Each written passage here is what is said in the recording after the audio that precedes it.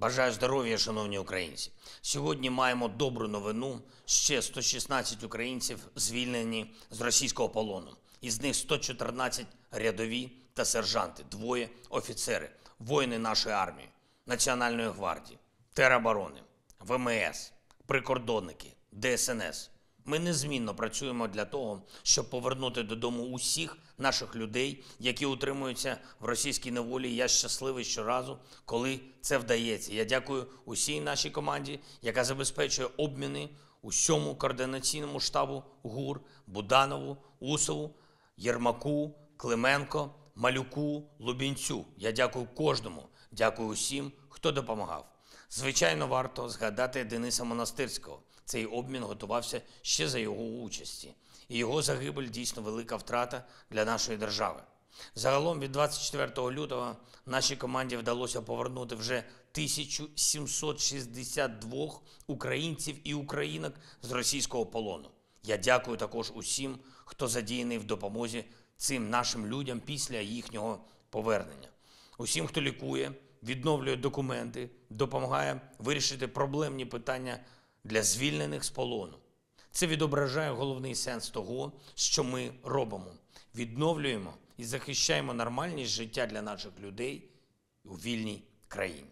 Говорив сьогодні з Ріші Сунаком, паном прем'єр-міністром Великої Британії. Дуже важлива розмова, дуже вагомі речі ми з ним готуємо. Подякував пану прем'єр-міністру, усім британцям за допомогу нашій державі. Зараз в Британії наші хлопці вже почали навчатися на танках Challenger. Це хороша машина і буде серйозна річ на полі бою. Разом з нашими партнерами щодня робимо все, щоб наші воїни мали достатню силу для захисту від держави-терориста. Обговорили також інші перспективні речі, які можуть зміцнити нашу оборону. Окремо торкнулося питання загрози міжнародному олімпійському руху, яка виникла через слабкість міжнародної спортивної бюрократії, через тих, хто намагається фактично дозволити Росії пропагандистське використання спорту. Я радий, що у світі чують нашу позицію про те, що олімпійські принципи мають бути однозначно захищені від держави-терориста.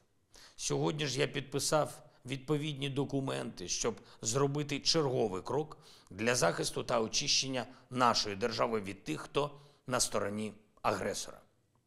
Є подання від Служби безпеки щодо осіб, у яких зафіксована наявність російського громадянства. Завтра ж буде зроблений ще один юридичний крок на виконання санкційних рішень РНБО.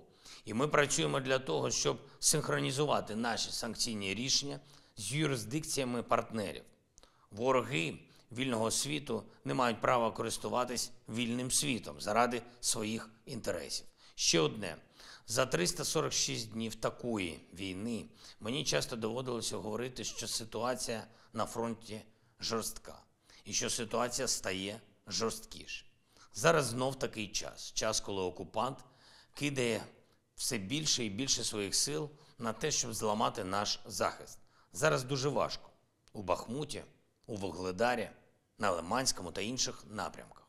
Але зараз, як і кожного дня, із цих 346 стійкість наших воїнів вирішує все. Наша стійкість.